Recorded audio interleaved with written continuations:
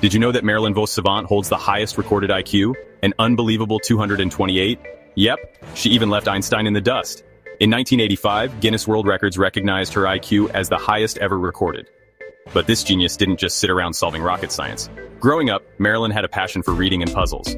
People even say she tackled the entire Encyclopedia Britannica. True or not, one thing's clear. Her brain was unstoppable. Fast forward to the 80s and Marilyn became a star.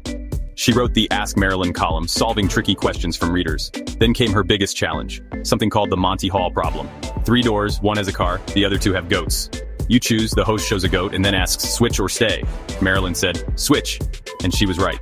Switching gives you a two-thirds chance of winning. Simple? Not for everyone. Over 10,000 people, including PhDs, said she blew it. But guess what? Experts and Mythbusters proved her right. She outsmarted them all. Marilyn's story shows us the power of standing by your ideas, even when the world doubts you. So think big and keep switching those doors.